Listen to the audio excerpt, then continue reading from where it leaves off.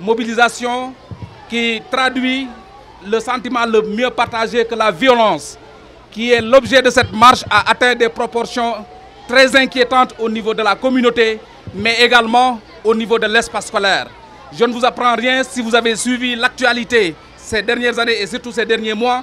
Nous avons connu des violences, des incidents dans le milieu scolaire où c'est des élèves qui lèvent la main sur les professeurs ou des enseignants ou des parents d'élèves ou bien tout simplement des, communautés. Il était grand temps que nous marquions le, pas pour dire basta, pour dire il faut que ça s'arrête, il faut qu'on reprenne un nouveau départ.